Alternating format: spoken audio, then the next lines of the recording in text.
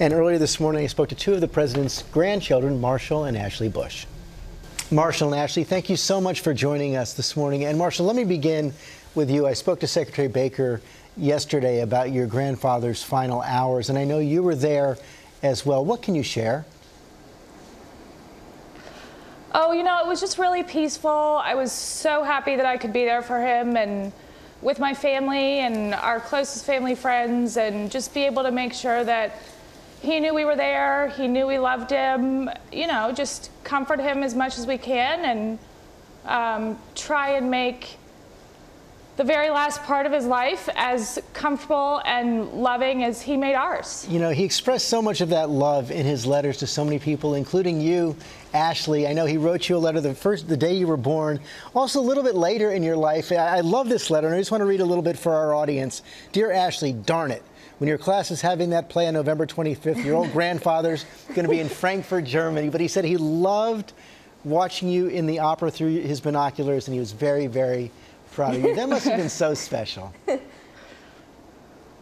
It really was. And I was thinking about how, I mean, our grandfather belonged, of course, to us, but also to the world. But yet he would have these moments and come to our plays and even make cameos in our high school musicals. Like, I mean, it, it's very grounded. He's, while he was a part of the whole world, he was very grounded. And certainly made us all feel very loved and made us feel very special. And, and Marshall, you were old enough to, to, to be around during those days in the White House. What was that like?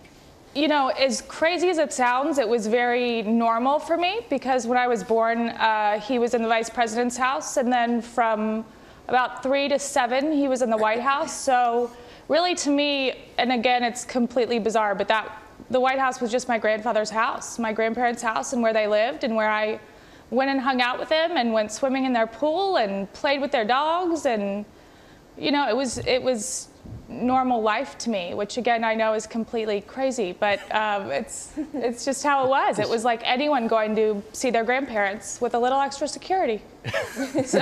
which, which always helps. And Ashley, what's the what's the big lesson you take away from your grandfather's life? Uh, I think the biggest for me is humility. um, one second, yes. Um, I, I, so uh, a couple of years ago, I sat down and asked him a few questions. I was just so struck by his humility. Uh, one question in particular, I asked what event had impacted him the most in his life, and he talked about when he was a 20 year old pilot and he teared up and how that has sort of motivated and inspired him for the rest of his life to have this humility that he he continues to live with and um, share with everybody. Marshall, you must feel lucky he was your grandfather. Unbelievably, unbelievably. Could not have had a better influence or really partner in life. I mean, he supported us, as Ashley mentioned, in every single thing we did, as silly as it was from, you know, our school plays to just, you know, having a tough day at wherever. He was always there to listen, always there to love.